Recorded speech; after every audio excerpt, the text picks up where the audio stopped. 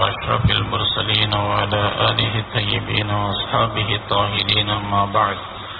فقد قال الله تعالى في محكم التنزيل وفي الفرقان الحميد أعوذ بالله من الشيطان الرجيم. بسم الله الرحمن الرحيم.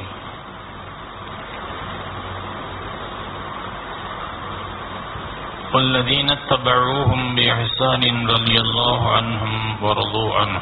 صدق الله العظيم. கண்ணியத்திற்கும் மரியாதைக்கும் உரிய இஸ்லாமிய பெரியவர்களே தாபியங்களுடைய திறனை போற்றும் தாபியங்களில் மிகச்சிறந்த ஆலிமாகவும் அறிஞராகவும் அண்ணலும் பெருமானா சல்லல்லா அலே செல்லம் அவருடைய வம்சாவளியுமான முகமது பாக்கர் ரஹமத்துல்லாஹி அலை அவர்களை பற்றி நாம் இன்று பகிர இருக்கின்றோம். அலீர் அலி அல்லாஹ் தாலானுடைய மகன் ஹுசைன் அலி அல்லாஹ் தாலா அவருடைய மகன் ஜெயினுல் ஆபிதீன் அவருடைய மகன் முகமது பாக்கர் ரஹமத்துல்லா அலி ஷியாக்கள் இந்த அலீர் அலி அல்லாஹ் தாலானுடைய பரம்பரையில் வரக்கூடிய ஒரு பன்னெண்டு பேர்களை அவர்கள் விசேஷமாக வாய்ந்து செய்வார்கள் சொல்வார்கள். ஒருவரை புகழ்வதனால் மட்டும் அவர்கள் நேர்வழியில் உள்ளவர்கள் என்று சொல்ல முடியாது. ஏனென்றால் அபுபக்கர் சிதேக் அலி அல்லாஹனு உமர் அலி அல்லாஹனு இவர்களை அவர்கள் வசைபாடுவார்கள்.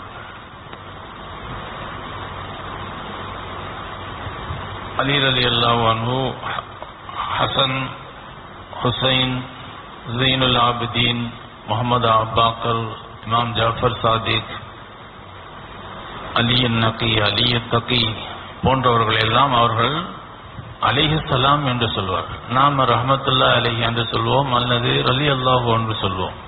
பாவங்களை விட்டும் பாதுகாக்கப்பட்டவர்கள் என்று ஷியாக்கள் சொல்வார்கள். நாம பாதங்களை விட்டு பாதுகாக்கப்பட்டவர்கள் சுனத்தல் ஜமாத்தினுடைய கொள்கையின்படி நபிமார்களும் வானவர்களும் தான் பாவங்களை விட்டும் பாதுகாக்கப்பட்டவர்கள். பாவங்கள் செய்யாமல் இருப்பது வேறு பாவங்களை விட்டு தவிர நடப்பது வேறு.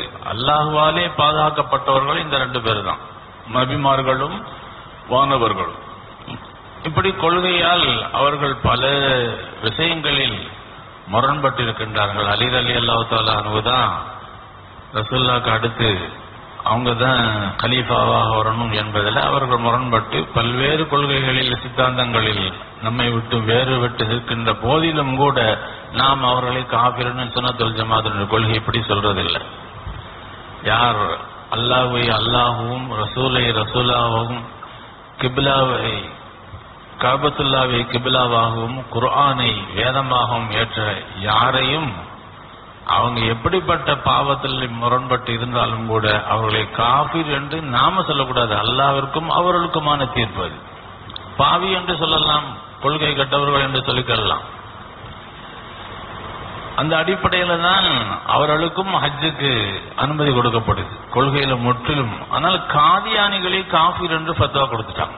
ஏனென்றால் குரானில் தெளிவாக வந்த ஒன்றை ரசூல் செல்லம் அவர்கள் இறுதி நபி என்று வந்தவர்களை அதுக்கு மேல நான் ஒரு நபி என்று சொல்லக்கூடிய கூட்டம் அது. அவர்களில் ஒரு சிலர்கள் தமிழ்நாட்டிலும் ஊடுருவி விட்டார்கள் பாண்டிச்சேரியிலும் ஊடி இருக்காங்க கண்ணுக்கு தெரியாம இருக்கிறாங்க. நபிக்கு பின்னால் இன்னொரு நபி இருக்கக்கூடிய கொள்கையை கொள்ளவர்கள் தான் காதியானி கூட்டம். அடையாளம் தெரிந்து கொள்ள வேண்டும் என்பதற்காக வேண்டி சொல்கின்றேன். இப்படி வலீத் என்ற ஹலீஃபா அவருக்கு அலீத் அலி அல்லா தல்லானுவை பிடிக்காது உஸ்மான் அலி அல்லா தல்லானு பிடிக்கும். வெறுக்கக்கூடியவர்களும் சிலர் இருப்பார்கள் ஆதரிக்கக்கூடியவர்களும் இருக்கிறாங்க அவர் வந்து என்ன செய்ய ஒரு இமாம்கிட்ட உஸ்மான் அலி அல்லாஹு தலானுவை புகழ்ந்து அலீர் அலி அல்லாஹு தலானுவை இகழ்ந்து எனக்கு ஒரு கவிதை எழுதித்தாங்கன்னு கேட்டாங்களாம். அந்த கவி அவர் எழுத கொண்டு வந்தவர் அந்த தாளை என்ன செஞ்சாருன்னா ஆட்டுக்கு திங்க கொடுத்துட்டார். கொண்டு வந்தவர் சொன்னார் நாங்க பதில் வாங்கிட்டு போகலன்னா என்ன வெட்டிடுவாரு கலீஃபா. எனவே ஏதாவது ஒரு பதில தாங்க அப்படின்னு சொன்ன உடனே அப்ப அந்த இமாம் அந்த கலீஃபாவுக்கு எழுதி அனுப்பினார்களாம் இந்த உலகம் முழுக்க உஸ்மான் அலி அல்லாஹாலுடைய புகழ் நிறைந்து இருந்தாலும் அதனால ஓம் கபருக்கு ஒண்ணு இல்லை. நீ நல்லாமல் செய்தாதான் உனக்கு அலீர் அலி அல்லாஹாலும் இகழ்வதற்கு உலகம் முகழ்க்க இருந்தாலும் கூட அதுவும் உன்னுடைய கபருக்கு பிரயோஜனம் தர போறதில்லை. உன் வேலையை பார்த்துட்டு உன்னுடைய அமல்களை பார்த்து நீ கவனம் செலுத்தி என்று அந்த இமாம் பதில் எழுதி கொடுத்ததாக நாம் வரலாற்றில் பார்க்கின்றோம். இப்படி அந்த வரிசையில் முகமது பாக்கர் அவர்கள் ஆனால் இவர்கள் புகழ்ந்து உரைக்கின்றார்கள் என்பதற்கான உண்மையிலேயே புகழுக்குரியவர்களாக தான் இருந்தாங்க. அது வேறு விஷயம். முகமது பாக்கர் ரஹமத்துல்லா அலி அவர்கள் பெரும் பெரும் சஹாபிகள்கிட்ட அவர்கள் பாடம் பயின்றிருக்கின்றார்கள். பெருமானா சல்லா அலி செல்லம் அவருடைய முன்னறிவிப்பு இவர்களுடைய வருகையை பற்றி முன்னறிவிப்பு இருக்கின்றது. ஹுசைன் அலி அல்லா தலானுடைய மடியில் அமர்த்து ஜாபீர் அலி அல்லா தலான்னு சொல்றாங்க இவருக்கு ஒரு மகன் பிறப்பார். நாளை மாஷரிலே அவரை வணக்கசாலிகளின் அலங்காரமே என்று அழைக்கப்படும் என்று பெருமானா அவங்களுடைய மகனான ஜெயினுல் ஆபிதினை குறிப்பிட்டு சொல்வார் அவருக்கு ஒரு மகன் பிறப்பார். கல்வியை பிளந்து கொட்டு கொண்டு வருவார் என்று கல்வியில சிறந்து விளங்குவார்கள் என்று பெருமானா சல்லாஹ் அவங்க சொல்றாங்க. ஜெயினுல் ஆபிதீன் என்பதும் பட்ட பெயர் தான் பாக்கர் என்பதும் பட்ட பெயர் தான் இவங்க வெறும் முகமது தான். பாக்கர் ரஹமத்துல்லா அலி அவர்கள் அந்த கல்வியை புலந்து கல்வியை கொண்டு வருவார்கள் என்ற அந்த ரசூல்லாவுடைய முன்னறிப்பை வச்சு பாக்கர் என்ற பெயராலே இவர்கள் பிரபலமாகிவிட்டார்கள். கடந்த வாரம் நாம் கூறிய அபுபக்க சித்திக் அலி அல்லா தன்னுடைய வழித்தொடரில் வந்த காசிம் ரஹமத்துல்லா அலி அவருடைய மகளைத்தான் முகமது பாக்கர் ரஹமத்துல்லா அவர்கள் மனம் முடித்திருந்தார்கள். இவர்கள் ஒரு மோதிரம் அணிந்து கொண்டிருப்பார்கள். அந்த மோதிரத்திலே ஒரு உபதேசமான வார்த்தைகளை பொறித்துக் கொள்வது அந்த காலத்தில் உள்ள வழக்கம். ஒரு இல்லாஹில் கண்ணியம் அனைத்தும் அல்லாவிற்குரியது என்று இவர்கள் அந்த மோதிரத்தில் பொதித்திருந்தார்கள் பார்க்க வருகிறது. உமர் அலி அல்லா தாலு அவர்கள் ஒரு மோதிரம் அறிந்தார்கள்.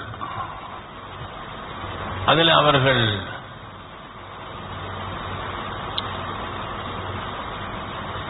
மரணம் ஒரு சிறந்த உபதேசி என்ற வார்த்தை அதில் பொதிக்கப்பட்டிருந்ததாக நாம் சரித்திரத்தில் பார்க்கிறோம். இப்படி ஒரு உபதேசத்தை ஒரு அந்த பார்த்த உடனே அல்லாவுடைய ஞாபகம் வரக்கூடிய வார்த்தைகளை அதை எழுதுவார்கள். அது அந்த காலத்தில் அப்படி ஒரு பழக்கம் இருந்தது. இப்படி முகமது பாக்கர் ரஹமத்துல்லாய் அவரிடம் ஏராளமான கல்விமான்கள் இவங்கள்ட்ட கல்வி கற்றிருக்காங்க. இவங்க அனசரதி அல்லா தலாந்தையெல்லாம் இவங்க கல்வி கற்றிருக்கிறாங்க இன்னும் நிறைய சஹாபிகளிடம் இவர்கள் கல்வி கற்றுக்கொண்டு கல்வி கற்றிருக்கிறார்கள். இவர் ஒரு தடவை ஷாம் தேசத்துக்கு செல்கின்றார்கள். ஷாம் தேசத்துக்கு செல்லும் பொழுது அங்கே கிறிஸ்தவர்கள் கூட்ட கூட்டமாக சென்று கொண்டிருக்கின்றார்கள். எங்கே செல்கின்றார்கள் என்று தன் கூட ஓரம் போது இல்லை அங்கே ஒரு வயசானவர் நீண்ட காலமாக ஒருவர் வாழ்ந்து கொண்டிருக்கிறார் ஒரு மலையடி வாரத்தில். அவரிடம் அவர் எப்பமாவது தான் வெளியில வருவார். அவரை சந்தித்து மக்கள் கேள்விகள் கேட்பார்கள் அவர்கள் பதில் சொல்வார். அங்க போறது போற கிறிஸ்தவர்கள் என்று சொன்னவன் அப்ப நாமும் அங்க போவோம் அப்படின்னு சொல்லி இவர்கள் துண்டை வச்சு தலையெல்லாம் கவர் பண்ணிட்டு கிறிஸ்தவர்களோடு இவர்களும் உள்ளே செல்கின்றார். அந்த முதியவர் அவர் இந்த கூட்டத்தில் பார்த்து இவங்களை பார்த்து கண்டுபிடிச்சிட்டாரு. நீங்கள் முஸ்லீம்களா? என்ன கேட்டோம்னா ஆமா நாங்க முஸ்லீம்கள் தான். அப்படின்னு சொன்ன உடனே அவர் கேட்டார் நீ அறிவாளியான்னு கேட்டார். அப்ப முகமது பாக்கர் ரஹமத்துல்லா அலி அவர்கள் நான் அறிவாளின்னு சொல்லல. அவங்க எப்படி சொல்றாங்க? நான் ஒன்றும் அறியாதவர் அல்ல. அறிவாளின்னு சொன்னா அது பெருமையா போயிடும் ஒண்ணுமே தெரியாதுன்னு சொன்னா பொய்யா போயிடும் எனவே ஒன்றும் அறியாதவர் அல்ல. ஆக தெரியுங்கிற அடிப்படையில் அதுல கருத்து இருக்கு. என்னை சாமர்த்தியமாக பதில் சொல்றாரு. நீ என்னிடத்துல கேள்வி கேட்கிறீர்களா? நான் உன்னிடத்துல கேள்வி கேட்கவா? என்று கேட்கிறார்கள். அப்ப அவங்க சொல்லுவாங்க நீங்களே கேளுங்க. அப்படின்னு சொல்லி அவங்கள்ட்ட சொல்றாரு. இப்போ அது கேள்வி கேட்கிறாரு. ஒவ்வொரு நாளும் ஒரு நேரம் உண்டு. அது இரவிலும் சேராது பகலிலும் சேராது. அது எந்த நேரம் என்று கேட்கின்றார்கள். இப்போ முகமது ரஹமத்துல்லா அலி அவர்கள் சொல்வார்கள் பாக்கர். அவங்க பேர் தான் பாக்கர். ஃபஜர் சாதிக் உடைய வக்து இருக்குதா இல்லையா? அதாவது இஷா வந்து ஃபஜர் சாதிக்குடைய வக்து வந்துட்டா இஷா கலாவாயிரும். அப்போ ஃபஜர் சாதிக்கு வந்து இரவு அல்ல என்பது தெரியுது. அதே சமயம் சூரியன் உதித்தா தான் பகல் ஆரம்பமாகுது. எனவே அது பகலும் அல்ல. அப்ப இரவு இஷா தொழுவ ஃபஜர் சாதிக்கு முந்தி கலாவாகிறதுனா அது இரவு அல்ல. சூரியன் உதித்த பிறகுதான் பகல் ஆரம்பமாகிறது. அப்ப அந்த இடைப்பட்ட அந்த நேரம் பகலும் அல்ல. அப்ப இரவும் அல்ல பகலும் அல்ல. அந்த நேரத்தில் தான் நிறைய ஷிஃபாக்கள் மனிதர்களுக்கு கொடுக்கப்படுகிறது என்ற வார்த்தையும் சேர்த்து சொல்கிறார் நிவாரணம் கிடைக்குது. அந்த நேரத்தில் அடிக்கக்கூடிய காற்றின் மூலமாக மனிதர்களுக்கு நிவாரணம் கிடைக்கின்றது. அல்லாவுடைய அருள் இறங்குகின்றது என்ற வார்த்தையையும் சேர்த்து சொல்கின்றார். அடுத்த கேள்வி வைக்கின்றார்கள் ஏற்கனவே இவங்களுடைய மகனார் ஜாபர் சாதிக் இமாம் அவங்களும் இதைத்தான் சொன்னாங்க. சொர்க்கவாசிகள் உணவு உண்கின்றார்கள் அது ஏன் கழிவாக வெளிவருவதில்லை என்று கேட்கும் பொழுது அதற்கு இவர்கள் ஓமையோடு சொல்வார்கள் தாயின் கர்ப்பத்தில் தாயின் கொப்பல் கொடி மூலமாக அந்த குழந்தைக்கு உணவு செல்கின்றது. அந்த குழந்தை தாயின் கர்ப்பத்தில் மலஞ்சலம் கழிப்பதில்லை. அப்படி கழிச்சா தாய்க்கும் அது உயிருக்கு ஆபத்து குழந்தைக்கும் ஆபத்து. அப்போ சொர்க்கம் தாயின் கற்பத்தை போன்றது என்று அவர்கள் விளக்கம் சொன்னார் மூன்றாவதாக ஒரு கேள்வி கேட்கின்றார்கள். ஒரு தாய்க்கு இரண்டு ஆண் குழந்தை பிறக்கிறது. இரட்டை குழந்தை ஒரே சமயத்துல பிறக்குது.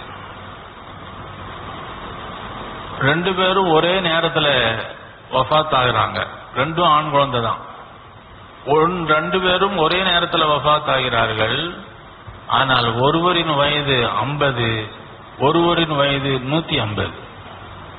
இது எப்படின்னு கேட்கிறாங்க உடனே கேள்வி கேட்ட உடனே முகமது பாக்கர் ரஹமத்துல்லாஹி சொல்லார்கள் அவர்கள் உசைர் அலிஹிஸ்லாம் உசைர் அலி இஸ்லாம் அவர்களை அல்லாஹ் ஜல்லாத்தாலையும் செய்கிறான் அவர்கள் ஒரு ஊரை கடந்து வரும் பொழுது அந்த ஊர் பால்பட்டு அழிக்கப்பட்டிருந்த மக்களை எல்லாம் அல்லாஹ் எப்படி மீண்டும் ஹயாத்தாக்குவான் என்று நினைத்த பொழுது அல்லாஹ் ஜல்ல அவர்களை நூறு வருஷம் அவர்களை மோத்தாக்கி விட்டான் மீண்டும் அல்லாஹ் உயிர் கொடுத்து எழுப்பி உன்னுடைய கழுதையை பாருன்னு சொல்றாங்க. கழுதை மக்கி போயிருக்குது. இவங்களுடைய கொண்டு வந்த உணவை பாருங்கள். அது கெட்டு போகல. அப்ப காலத்தை அல்லாஹ் தன்னுடைய கையில வைத்திருக்கிறான். யாரின் மீது காலத்தை செலுத்த முடியும் யாரின் மீது காலத்தை செலுத்தக்கூடாது என்று. இசா அலி இஸ்லாம் அவர்கள் முப்பத்தி மூன்று வயதுல உயர்த்தப்பட்டுட்டாங்க. உலகம் அழியக்கூடிய நேரத்தில் அடையாளமாக அவர்கள் திருப்பி வருவாங்க. அதே முப்பத்தி மூணு வயசுல தான் வருவாங்க. அப்போ காலம் அவருடைய விஷயத்தில் நிறுத்தப்பட்டிருக்கிறது. இத்தனை கோ- லட்சக்கணக்கான வருஷம் இருந்திருந்தால் எவ்வளவு முடிகள் முளைத்திருக்கும் எவ்வளவு நகங்கள் முளைத்திருக்கும்? இல்ல.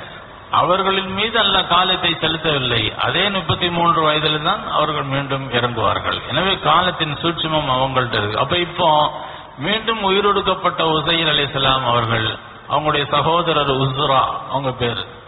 அப்ப அவர்கள் 50 வயசு வரைக்கும் வாழ்ந்தாங்க. இவங்க அதுக்கப்புறம் முப்பது வயசுல தான் இவங்க அந்த நிகழ்வு நடக்குது. அதுக்கப்புறமும் அவங்க சம வயசோட வாழ்ந்து இப்ப இவங்களுக்கு எத்தனை வயசு ஆகுது ஏன்னா இவங்களுக்கு மட்டும்தான் அந்த நூறு வயசு கடந்திருக்கு.